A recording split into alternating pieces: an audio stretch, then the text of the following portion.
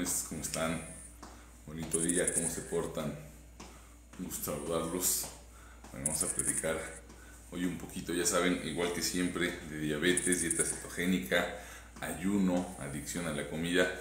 Y bueno, pues hoy quiero platicarles pues, varias cosillas que he estado viendo y leyendo acerca de las adicciones. Entonces, bueno, pues no está de más ahí para que vayamos platicando, vayan poniendo sus dudas. Ya saben que estamos en el reto No te rajes. Entonces, ¿cuál es el objetivo del reto No te rajes? Pues no rajarnos, no rajarnos, hacer dieta, hacer ejercicio, por eso me ven aquí marchando. Este, vamos a hacer 20 minutitos de marcha nada más y dar una vueltita a Barú. Eh, pero bueno, el objetivo es no rajarnos de aquí al 5 de enero. O sea, ¿qué es lo que pasa en estas fechas? Ya lo hemos platicado, ya lo hemos platicado. Todo mundo se empieza a salir de la dieta, todo mundo se empieza a dar permiso. Entonces ya valió, ya valió.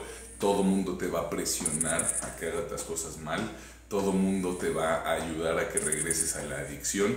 Entonces, ese es el objetivo. Este, hola, user, ¿cómo estás? ¿Cómo andas?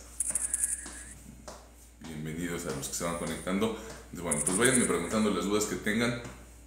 Bueno, pues vamos a platicar un poquito de esta parte de la adicción.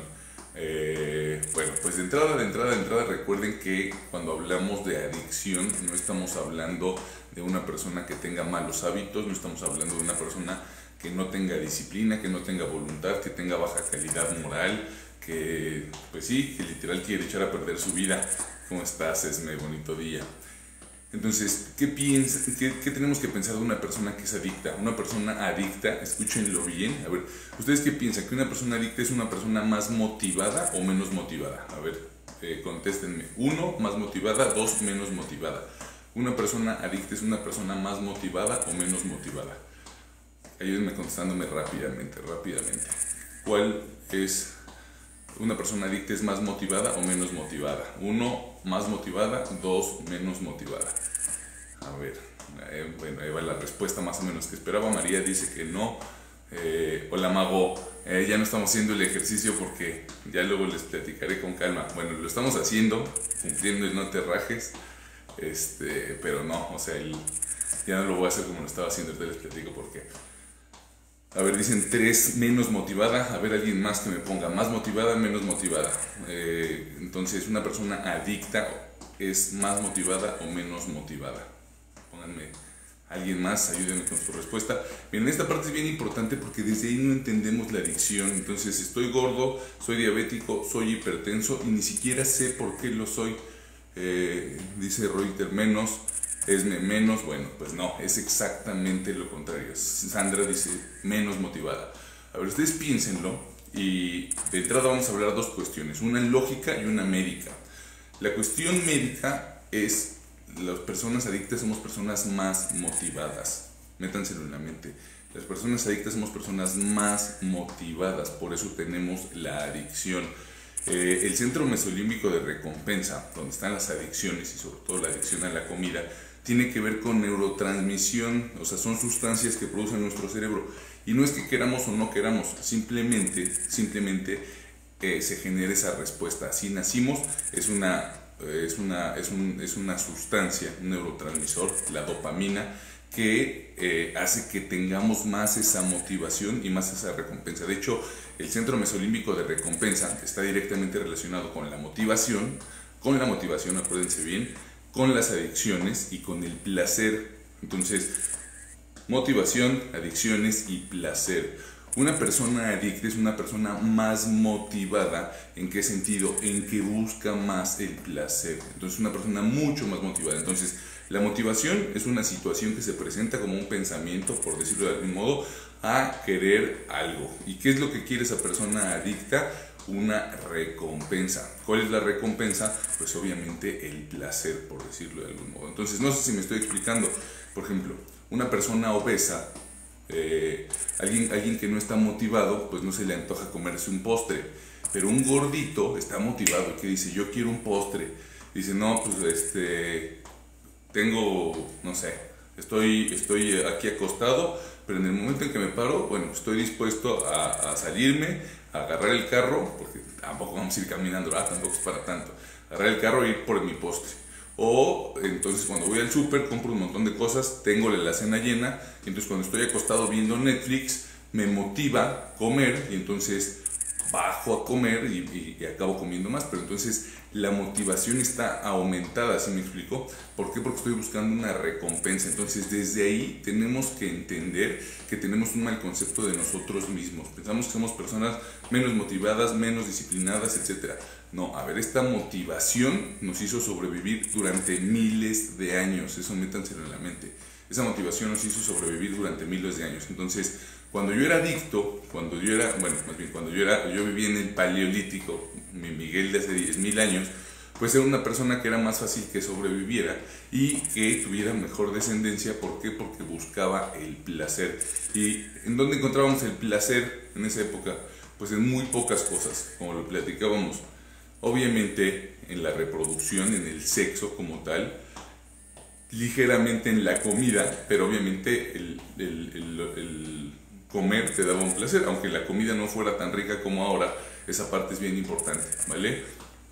Entonces, dense cuenta que no existían los placeres que existen ahora. Ahora, o sea, por ejemplo, eh, hace 10.000 años no íbamos a encontrar alcohol como lo encontramos ahora, drogas, y drogas, imagínense toda la variedad que hay ahora, ¿no? LSD, cocaína, anfetaminas, imagínate todo lo que no puede encontrar nuestro cuerpo, imagínate también eh, obviamente los sabores, no existían todos los sabores intensos que tenemos ahora. Entonces, ¿qué teníamos que encontrar? Pues simplemente las personas que éramos más adictas, más propensión a la adicción y vamos a buscar más lo que nos ayudara a sobrevivir. Entonces, tengan eso claro. Dice, perdón, recién entro. ¿Por qué te mueves así? ¿Vas caminando? Eh, estoy un NPC. no, miren, estamos en un reto, estamos en un reto que empezamos al 5 de enero de hacer ejercicio todos los días. Todos los días al 20 para las 7 estaba haciendo unas rutinas HIT, que es este, ejercicio intervalico de alta intensidad, pero, este, por ejemplo, ahorita estamos muy poquitos conectados, estamos 70. Cuando me pongo a hacer las rutinitas así y no contesto dudas, la verdad baja mucho el algoritmo y obviamente parte de la idea es que más personas seamos saludables. Por ejemplo, nosotros tenemos un reto en el que todos tenemos que hacer ejercicio todos los días, todos los días y hacer la dieta de aquí al 5 de enero. Entonces, pues este es mi ratito de hacer ejercicio. Entonces, 20 minutitos. Eh, digo, ahorita me estaba esperando porque mi idea de, de empezar el ejercicio hoy era, era sacar a pasear a mi perro. Entonces, pero no tengo casi pila, estamos esperando a que ponga un poquito la pila y por eso. Entonces, fíjense, simplemente, simplemente con que hagas esto que estoy haciendo, eh, te ayuda a quitarte el pretexto de no hacerlo. Es más, tú ahorita podrías en este mismo momento en lo que estás viendo TikTok, poner tu celular igual que yo y ponerte a marchar. Porque ¿cuáles son los pretextos de los que no hacemos ejercicio? Es que no tengo dinero para pagar el gimnasio, es que no tengo tiempo, es que hace frío, es que no tengo ropa adecuada, es que no necesitas nada. O sea, con que te pongas enfrente y esto y te pongas a marchar, porque obviamente lo que estoy haciendo es simplemente marchando, moviéndome, este, obviamente activas el metabolismo. Eso se llaman ejercicio, bueno, esto sería de baja intensidad. Y a ver, ¿cuándo quemas más grasa? ¿Cuando haces baja intensidad o alta intensidad? Pónganme, baja intensidad o alta intensidad. ¿Cuándo se quema más grasa? Eh, dice ejercicio, pero cuando intento hacer cardio me duele. ¿Alguna opción o beneficio, pero no dolor? A ver, déjame ver. desde aquí arriba viene. Buenos días, doctor. Disculpe una pregunta. Yo tuve doble esguince de rodilla derecha. Me interesa hacer ejercicio, pero cuando intento hacer cardio me duele. ¿Alguna opción de beneficio, pero no dolor? Eh, ¿Cuánto pesas, Ale? Desde ahí es importante. ¿Cuánto estás pesando ahorita? Eh, ¿Qué pasó? ¿Lo vemos ahorita o hacemos algo de ejercicio? ¿Qué pasó, mi buen Lalo? ¿Cómo andas? Gustavo saludarte. Pues la cosa es que hagamos ejercicio juntos. Miren, eh, les, repetía que por el algoritmo ya no voy a hacer ejercicio ahorita. De hecho, quiero ver si lo hago desde, desde el otro, desde Finding Supplements. Entonces, pero no lo he podido subir. Pero pues prefiero estarles contestando dudas ahorita estos 20 minutos que ponerme a hacer el ejercicio. Entonces, porque si no llegamos a mucho menos gente, y parte importante de esto es llegar a más gente, que hagamos comunidad, que más personas estemos dispuestos a bajar de peso, a cuidar nuestra salud. Fíjense, la salud es algo muy delicado que si se va, no regresa. Bueno, en algunas ocasiones sí, pero en muchas ocasiones no. Yo les decía de los pacientes diabéticos, por ejemplo. El problema de los pacientes diabéticos es eso, que tú puedes decir, a ver, no me contestaste, Ale. Pero bueno, en resumen, por ejemplo, esto que estoy haciendo, si ustedes se alcanzan a ver, pues es baja intensidad. Subo una, apoyo y no hay prácticamente impacto. Y tampoco el arco de movimiento es muy amplio. No nada más voy marchando una, otra y moviendo los brazos. Entonces, esa parte es bien importante.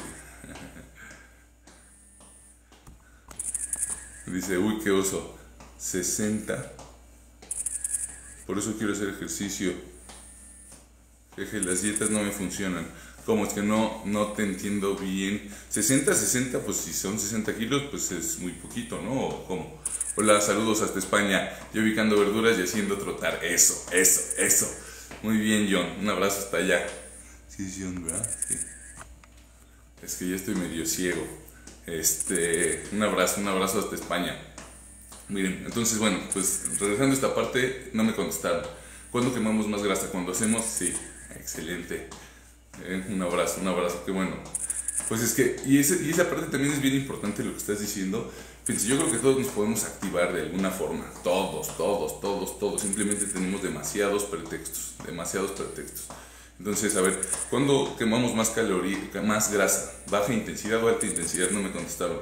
Opción 1, opción 2. ¿Cuándo quemo más grasa? ¿Baja intensidad o alta intensidad del ejercicio? ¿Cuándo quemo más grasa?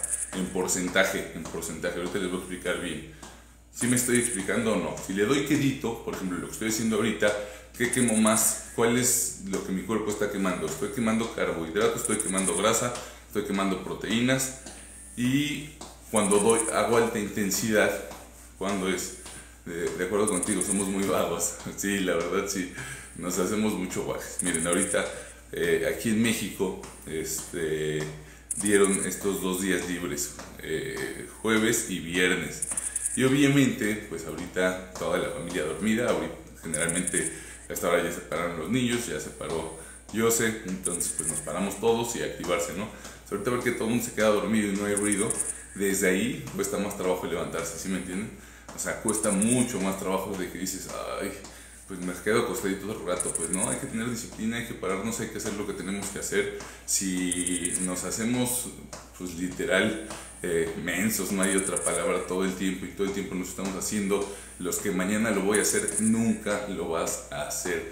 Si tú te estás esperando hasta enero, ay, es que en enero ahora sí voy a empezar la dieta, no lo vas a hacer, no lo vas a hacer, ya se te fue este año, y no a ti, a todos. Entonces, si no lo haces ahorita, no lo vas a hacer nunca. Y en enero vas a estar mucho peor. Entonces, bueno, pues respondiendo lo que decían ahorita, este, dice John, yo cuando plancho también me muevo. Bueno, pues eso te, te super felicito. Eso te super felicito. ¿Cómo se...? Este... Si se pronuncia así o es jone o cómo es. Este... En resumen, eh, cuando hacemos baja intensidad, el porcentaje de grasa que se quema es mucho más alto. Eso apréndanselo, porque también, ¿por qué les quería explicar esto? Porque luego minimizamos este tipo de ejercicios, ¿no? Por ejemplo, ustedes me ven haciendo esto y dicen, bueno, pues el doc nada más está haciendo menso, nada más está ahí como que enfrente de nosotros, moviéndose, que platicando, pero la verdad es que con ese ejercicio, ¿de qué le va a servir? No, pues me sirve para todo. Bueno, para el único que no me serviría de forma importante es para ganancia muscular pero me sirve para función cardiovascular, me sirve para quemar calorías como tal, me sirve para obviamente cardiovascular, ya dijimos, que funcione mejor mi corazón, aumente el ritmo y circule la sangre. Obviamente eh, la función ventilatoria me sirve para los pulmones, o sea, me sirve para todo, pero también me sirve mucho para adelgazar. Cuando hacemos ejercicios de baja intensidad o no hacemos ejercicio en general, o sea, ¿a qué me refiero? Que estoy eh, sedentario, estoy acostado, mi cuerpo trata de utilizar la grasa como combustible, no los carbohidratos. Eh, a ver, vamos a, darle una vueltita ya a Baru, ya se cargó algo esto y si no regresamos a platicar aquí con ustedes. Este...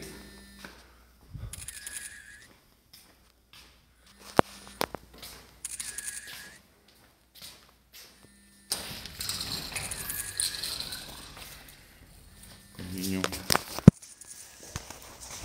Uy.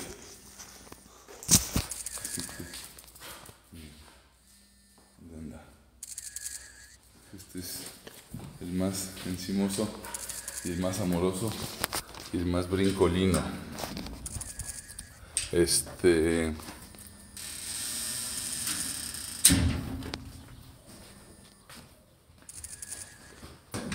Exageradamente bien. Fíjate. Esperemos que. Quedé en medio de las dos, pero bueno, sí pude salir. A ver, miren, de la semilla de Brasil como tal, si les soy sincero, no he leído tanto. Siempre busco ahí de repente, pero nunca me he puesto a buscar ni cuál es la, verdadera función. En general, hay muchos productos que venden como la semilla de, Brasil que funcionan para bajar de peso, pero son desacoplantes de la cadena oxidativa. ¿Qué hacen? Que hace que tu cuerpo desperdicie energía este, en forma de calor, pero lo único que hacen es que hacen mucho daño a largo plazo y la gente baja muy bien de peso. Por ejemplo, en México de repente se ponen de moda unos productos que, este, por ejemplo, hace muchos años, no sé si se acuerdan uno, que se llamaba Capslim. Entonces, por ejemplo, sacaban esos productos, este, sacaban esos productos y luego se los empezaron a dar a todo el mundo, la gente se moría. Y luego ya que la gente se moría, los sacaban del mercado, pero por lo pronto vendían una locura, porque la gente sí baja de peso sin hacer dieta ni ejercicio. Dice María, ¿cuánto tiempo se debe de hacer bajo impacto? ¿Cuánto tiempo se tiene que ser bajo impacto? Miren, la verdad es que cuando haces baja intensidad tiene que ser mucho más largo. O sea, eh, un ejercicio de baja intensidad, pues, por, eh, pues, pues, obvias razones, eh, por obvias razones vas a quemar mucho menos calorías, mucho menos calorías, es menos intenso, pero el porcentaje de grasa que quemas es mucho más alto.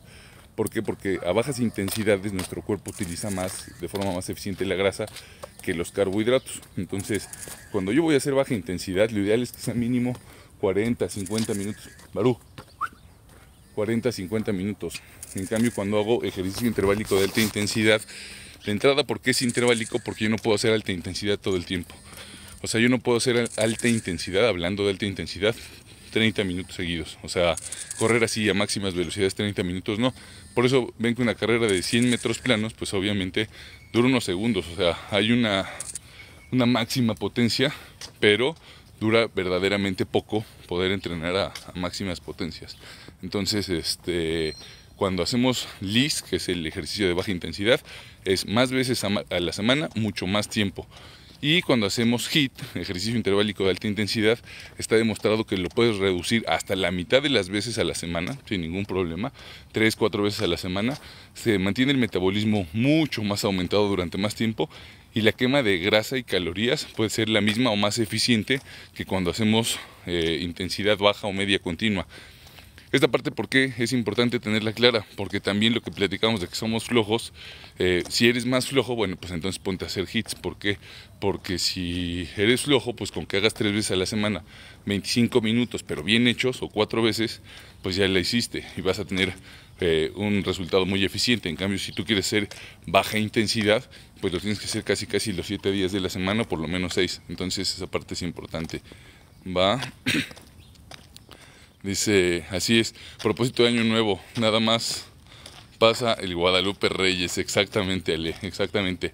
En México el Guadalupe Reyes celebramos a la Virgen de Guadalupe el 12 de diciembre y entonces eh, queremos no hacer dieta, queremos portarnos mal, queremos estar comiendo de todo del 12 de diciembre al 6 de enero. Por eso decimos que es el maratón Guadalupe Reyes. Y pues ¿qué hacemos en el maratón? Pues comer de todo, tomar de todo, engordar, este, cultivar los malos hábitos. Y obviamente también tiene una parte muy bonita de convivencia, de disfrutar de la ilusión de, de las fechas. La verdad, obviamente también está padre por esa parte. Pero pues ya saben que eh, muchas veces el estar viendo a más personas y en estas fechas, pues ¿qué va a generar? Pues mayor propensión a la adicción. O sea, ustedes fíjense y las demás personas en general siempre nos van a orillar a hacer las cosas mal. Y cuando digo orillar, obviamente nadie te pone una pistola, pero es más fácil que caigas. O sea, desde ahí seamos lógicos. O sea, si ustedes van a una fiesta, ¿qué les ofrecen de comer? O sea, imagínate que vas a una fiesta, vas a una reunión, ¿qué te ofrecen de comer? Díganme opciones. ¿Qué es lo que hay siempre en una fiesta?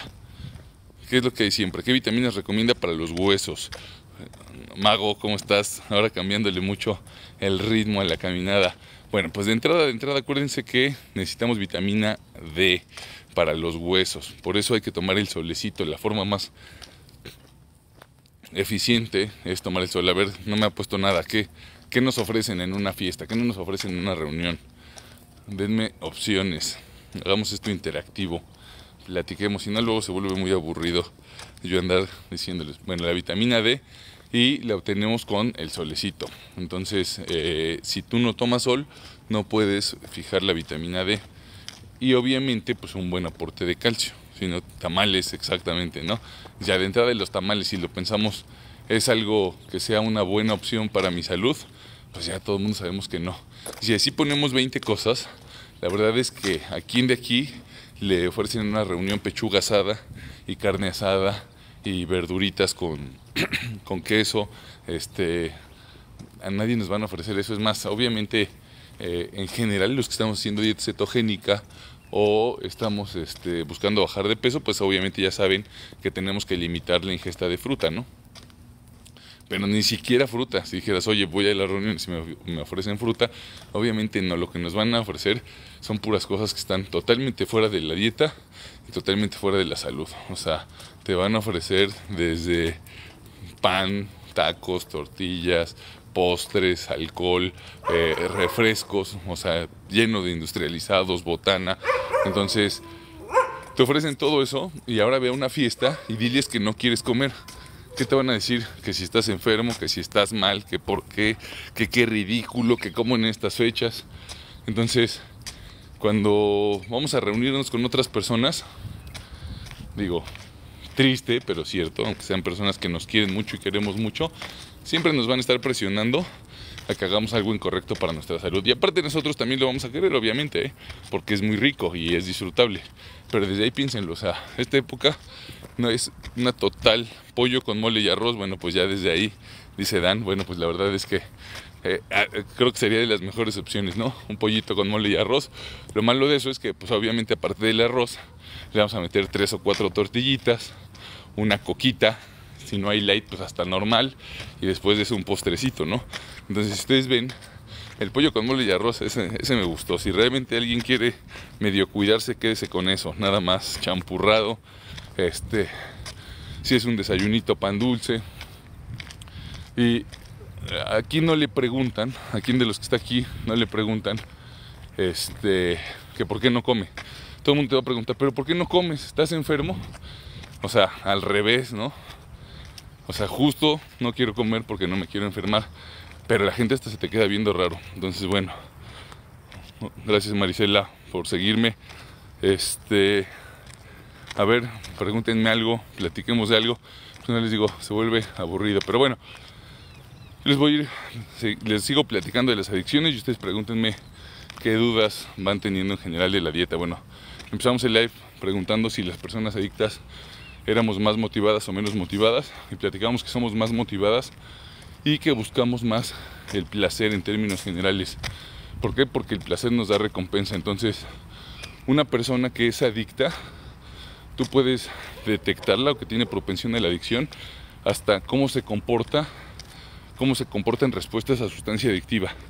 Por ejemplo, imagínate dos personas. Una persona le das alcohol, le das alcohol, se toma dos tequilitas, tres y se empieza a quedar dormida, le da sueño, este, se relaja tanto que se pone en una silla y se duerme. Y otra persona le das lo mismo, le das dos tequilitas y se pone a bailar, se pone a cantar, se pone a fiestero, a brincar, le da seguridad, platica con todo mundo, se le quita la inhibición. ¿Quién creen que se pueda volver adicto? ¿La persona 1 o la persona 2? La persona 1, acuérdate, se toma dos tequilitas, le da sueño, se relaja, se duerme, siente la relajación del alcohol. Y la persona 2 se activa, se enfiesta, le dan ganas de platicar, le dan ganas de bailar, se ríe mucho, se divierte mucho. ¿Quién creen que sea más fácil que se vuelva adicto?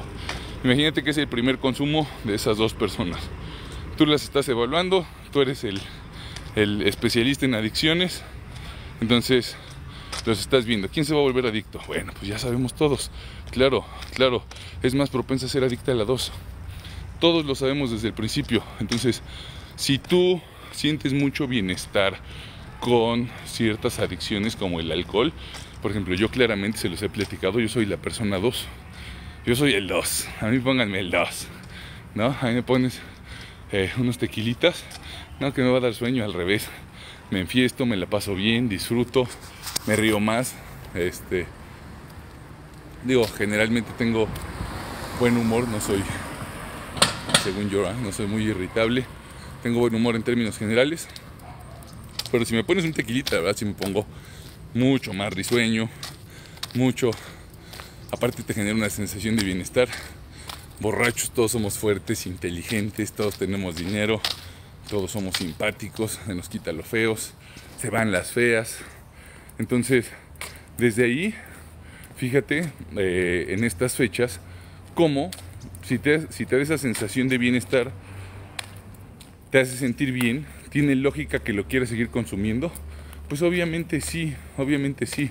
Entonces, la persona 1 que se queda dormida no es que tenga mejor calidad moral, por eso les digo siempre que los adictos no es que seamos malas personas ni que tengamos malos hábitos, pero la persona 1 no tiene la recompensa que tiene la persona 2. La persona 2 se siente muy bien y la persona 1 no siente nada. Entonces, cuando la persona 2 después de muchos años se vuelve adicta, y la persona 1 no, ¿a poco la persona 1 tuvo mucho mérito de no volverse adicta? A ver, pónganme sí o pónganme no, nada más. La persona 1, la que, la que se tomaba dos tequilitas y se quedaba dormida, y cada vez que iba a la fiesta, prefería no tomar porque si no le daba sueño y se quedaba dormida, ¿a poco tiene gran mérito en no volverse adicta? O sea, realmente como mérito que digas, uy, qué gran esfuerzo tuvo que hacer, uy, qué disciplina tuvo que tener en dejar de tomar. Dice Maries, yo me caigo. Dice Dan, además nuestra sociedad lo celebra y promueve. La persona uno la califican como aburrido, claro, claro. Pero ya ven cómo tengo razón de que son personas menos motivadas. O sea, a fin de cuentas, pues es más aburrido, es menos motivado, es menos fiestero, es menos risueño. O sea, a fin de cuentas, esa es una realidad. Y, como tú dices, eh, la sociedad al principio, al principio festeja mucho la actitud de la persona 2. Mucho, ¿no? Al principio, al principio mientras no tengas el problema grave como tal, porque te ríes más con esas personas, te la pasas bien, todo es divertido, todo eran risas y risas, este, pero un ratito después, cuando empieza la pérdida de control, cuando empiezas a querer esa sensación todo el tiempo, cuando obviamente tu cerebro se acostumbra a eso y pasa otra, eh, eh, otra situación importante que se llama sensibilidad cruzada. Eh, dice Brian, das consejos pues sí damos consejos, damos consejos de todo. Yo soy psicoterapeuta, soy mecánico, dentista, este, a todos le hacemos, no, no es cierto. Saludos hasta Ecuador, acabo de entrar. Eh, ¿de, qué, ¿De qué hablan? Pero hoy tequila. estamos platicando de las adicciones. Eh, bueno, para los que no, nunca hayan estado en algún live, yo soy médico, soy experto en nutrición clínica, dieta cetogénica y intermitente, diabetes. Y y algo que me gusta mucho y que estoy muy enfocado ahorita es en el tratamiento de la diabetes, de la hipertensión, de la obesidad como eh, hijas de la adicción, ¿no? La hipertensión siempre digo que un poquito menos, ¿no? La hipertensión luego esa pasa solita. Pero en general, en general las adicciones eh, van a generar problemas de salud. Y obviamente muchas veces los pacientes obesos, bueno, no muchas veces, prácticamente siempre el paciente obeso es un paciente adicto, que no lo sabe, no lo han diagnosticado, eh, nunca le damos ese enfoque los médicos en términos generales a que el paciente obeso es un paciente adicto. pero cuando el paciente eh, obeso entiende que es un paciente adicto, literal, le puede cambiar la vida y puede realmente tener un tratamiento exitoso, porque si tú no entiendes dónde está tu problema, tú piensas que es falta de voluntad y no es cierto. Y bueno, como les platicaba ahorita, que nadie me contestó, este, entre la persona 1 y la persona 2, la persona 1 no tiene mérito. ¿Por qué? Porque simplemente no tiene la recompensa, no se siente bien, no lo disfruta. Es como si a ti te dan un tamal y te sabe horrible. Si te dan un tamal y te sabe horrible, ¿A poco tienes mérito en no comer tamales? ¿A poco es que diga la gente, ay, qué bárbaro, qué disciplinado? Eh, no come tamales. O pizza, que todo el mundo lo ubicamos más, porque a lo mejor, por ejemplo, Alexa que está en Ecuador no sabe qué es un tamal, ¿no? Este, pero la pizza todo mundo lo ubicamos. Las hamburguesas, los tacos. Si me dan hamburguesas y odio las hamburguesas, me saben feo, ¿a poco tengo mérito en no comer hamburguesas? Pues no tengo ningún mérito. Entonces eso pasa con las personas no obesas. la gran mayoría de las personas que no son obesas simplemente no tienen la adicción y no son personas que tengan más disciplina, más voluntad, este, que tengan mucho mejores méritos. No, un montón de esas personas, bueno, también hay quien sí tiene el mérito y que se aguanta y que, y que trata de cultivar esta parte de la disciplina, ¿verdad?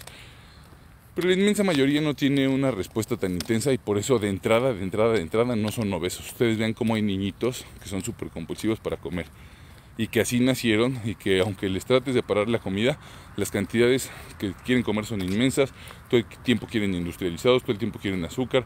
¿Por qué? Porque las vías cerebrales, es más, el cerebro se modifica con la adicción, eso tenganlo claro para que tengan cuidado con sus hijos.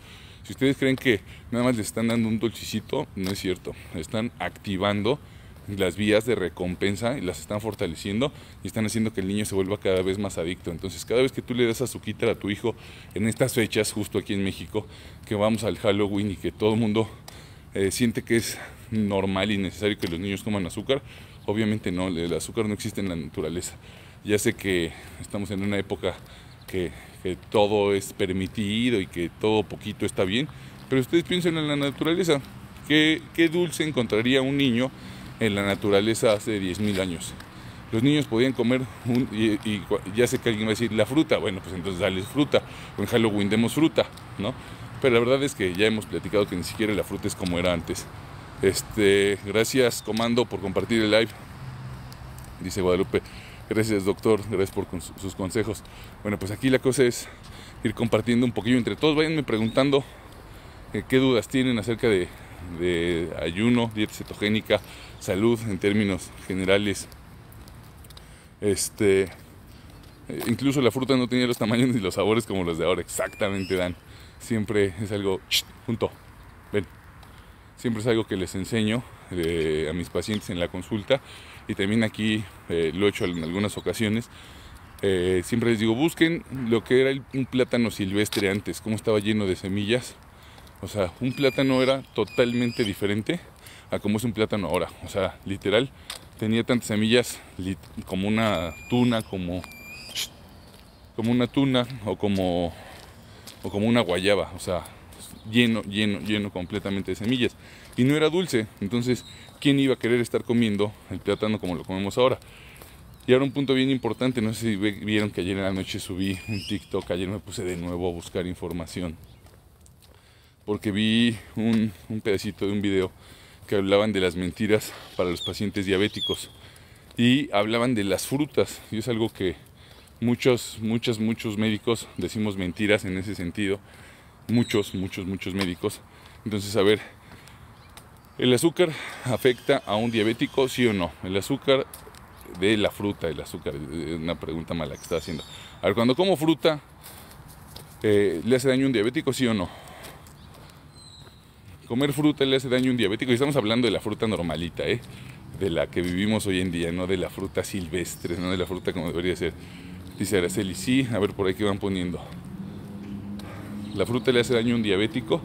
Un diabético no debe de comer fruta. A ver, estamos hablando de lo mismo. A ver, nada más Araceli pone que sí, que sí le hace daño. Alguien más dice Mago que sí. ¿Quién más? A ver, por ahí van, vayan poniendo más. A ver, la fruta siempre hemos pensado que es muy buena, que es natural, que es azúcar natural. Y en últimas fechas, muchas personas ya tienen esa claridad que dicen, bueno, el sabor dulce de la fruta es porque es azúcar.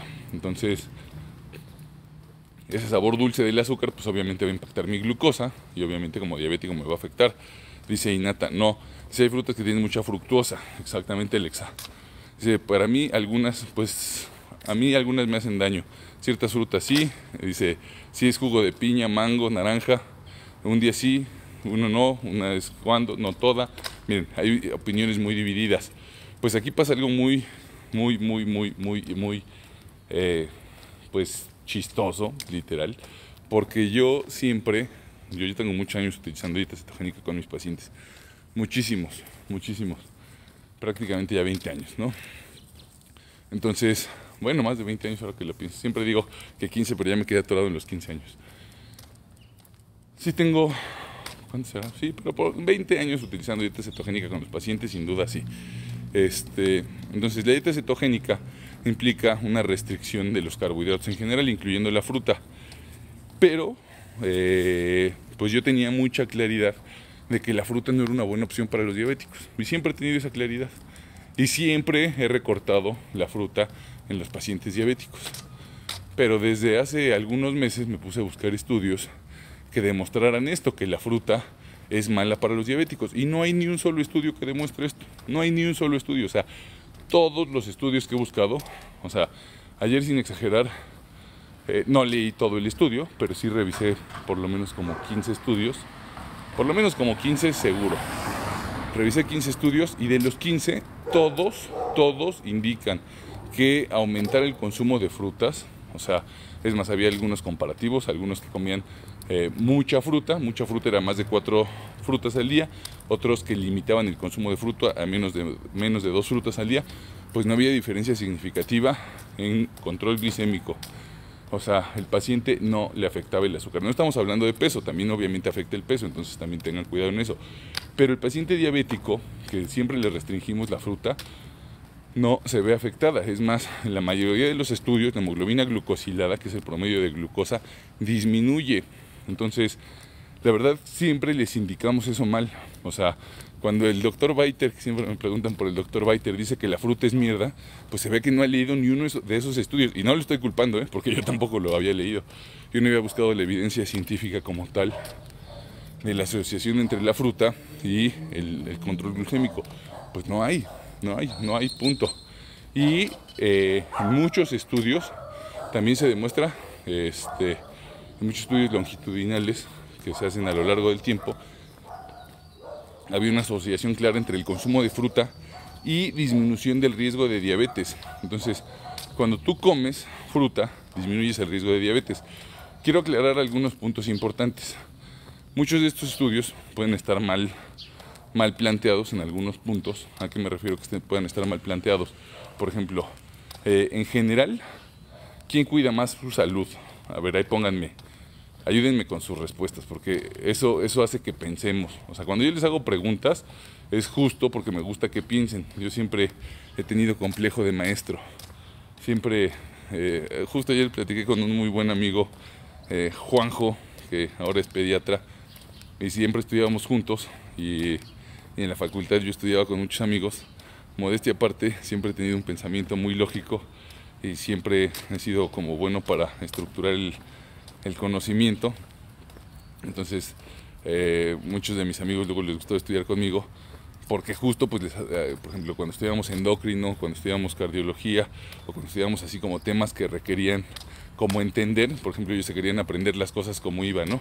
Por ejemplo, no sé, si había ciertos tipos de enfermedades cardiovasculares que generaban cianosis y otras no cianosis, ellos solo se las aprendían y, yo les explicaba porque, a ver, esta genera cianosis porque pasa la sangre no oxigenada hacia acá, etcétera. Y entonces ya cuando entendían, pues ya era más fácil no tenerte que aprender todo de memoria porque te aprendías las cosas con lógica. Entonces cuando yo me aprendo las cosas con lógica y cuando entiendo los mecanismos, pues me es más fácil realmente tener un conocimiento válido a largo plazo. Porque si solo me quiero aprender eh, qué tipo de, defectos, por ejemplo, del corazón son cianógenos y no cianógenos, pero no capto ni siquiera por qué, pues entonces en 10 minutos se me va a haber olvidado y no tuvo ningún sentido. Este, a ver, déjenme ver. Ah, bueno, pues ya 50% del objetivo de live. Dice Montana, Doc, ayer se me fue el internet y no vi la respuesta. ¿Cuántas tortillas delgaditas 3 por 1 puedo comer al día sin salir de cetosis? Miren, eh, no piensen en tortillas, piensen en total de carbohidratos. Eh, fíjense, a ver, ahí les doy una pregunta rápido regresando a esto. A ver, ¿hay alimentos cetogénicos y no cetogénicos? ¿Sí o no? ¿Hay alimentos cetogénicos y no cetogénicos? ¿Sí o no? Ayúdenme con su respuesta. Justo les estoy diciendo. La idea es que entendamos todos y aprendamos todos juntos. ¿Hay alimentos cetogénicos o no cetogénicos? ¿Sí o no? Y ahorita les va a quedar muy claro qué es lo que tienes que hacer, eh, Montana. ¿Hay alimentos cetogénicos o no cetogénicos? Dice Ginata, sí Dice María, eso, Mago. Mago se ve que dice que no. Montana dice, sí, sí los hay. Este, miren, si somos muy estrictos, muy, muy, muy estrictos, no hay alimentos cetogénicos y no cetogénicos. No los hay.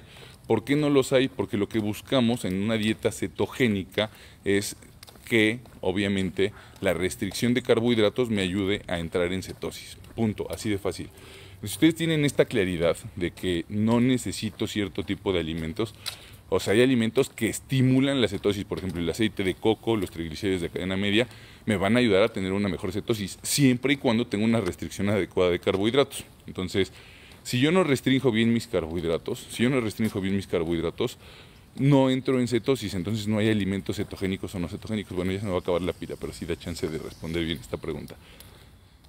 Entonces, no hay alimentos cetogénicos y alimentos no cetogénicos. Entonces, ¿qué tengo que hacer para garantizar que estoy en cetosis? Para super garantizar comer menos de 20 gramos de carbohidratos al día. Entonces, si tú quieres garantizar que tienes una buena cetosis, tienes que comer menos de 20 gramos de carbohidratos al día. ¿Y cómo voy a saber eso? Bueno, pues si quieres hacerlo de una forma muy eficiente, cuéntalos, así literal, cuéntalos. Hay muchas aplicaciones que nos pueden ayudar a contar, como MyFitnessPal, hay muchas aplicaciones o simplemente pues lleva tu listita mental de cuántos carbohidratos te vas comiendo.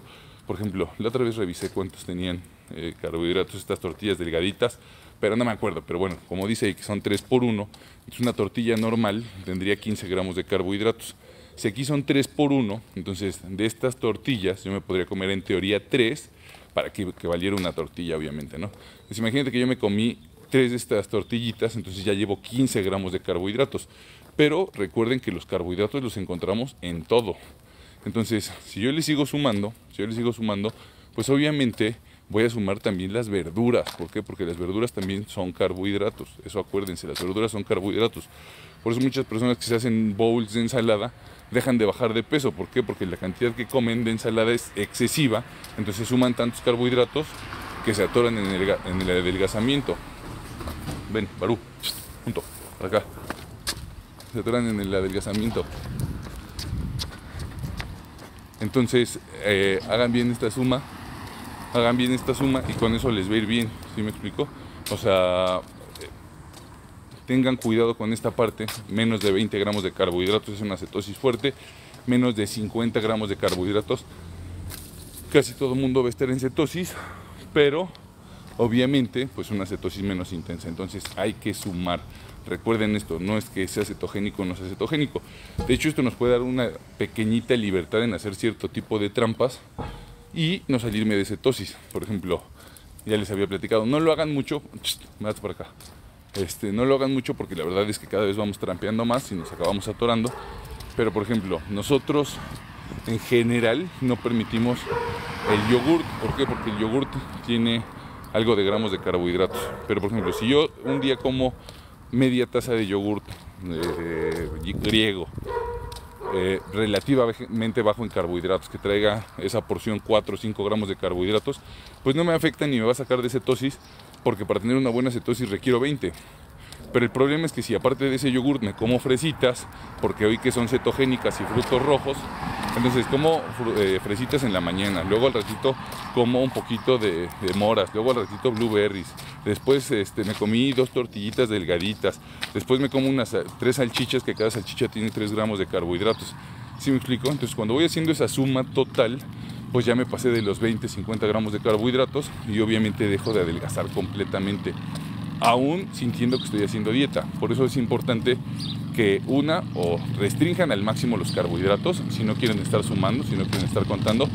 Por eso nosotros las frutas las ponemos en no permitido. Porque tener las frutas en no permitido pues eh, hace que pueda llevar la dieta sin ningún problema, sin necesidad de estar sumando todo el tiempo. ¿Vale? Entonces, bueno, espero que con eso haya respondido tu pregunta. Ya se me va a acabar la pila.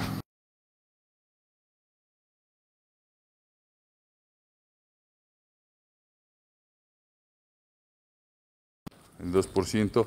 ¿Cómo accedo a una receta de usted? Soy diabético y hipertenso, es la primera vez que lo escucho. Ah, pues con todo gusto, Jerry. Bueno, pues mira, eh, la verdad es que el tratamiento conmigo con los pacientes diabéticos es excelente y buscamos que tengan controles de no diabético. La verdad les va demasiado bien, no estoy exagerando cuando digo que les va demasiado bien ni es porque porque, bueno, sí, ya les iba a decir, ni es porque yo sea bueno. No, la verdad es que sí les damos una buena asesoría. ¿Para qué, para qué les digo mentiras? La verdad les damos una buena asesoría, les explicamos bien cuáles son los mecanismos por los que tienes la glucosa alta y por eso vuelvo a repetir, por eso les va bien. O sea, por eso les hago las preguntas, insisto. Mis pacientes diabéticos entienden muy bien cuáles son los mecanismos por los que se sube la glucosa, por los que se baja, cuáles son las variables en los pacientes diabéticos. Y si el paciente entiende bien cuáles son todas estas variables en los pacientes diabéticos, entonces le va perfecto, le va increíblemente bien y va a tener un control perfecto de la glucosa. Pero recuerden lo que acabo de decir, el paciente tiene que entender. Si el paciente no entiende, porque es más, un montón de aquí que toman fármacos para diabetes no saben ni cómo funciona el fármaco que, que les dan. Ustedes pueden decir, oye, pero yo no soy el doctor. No importa, deberías de tener una idea general de qué es lo que hace ese fármaco en tu cuerpo para que entiendas tú cómo puedes ayudar.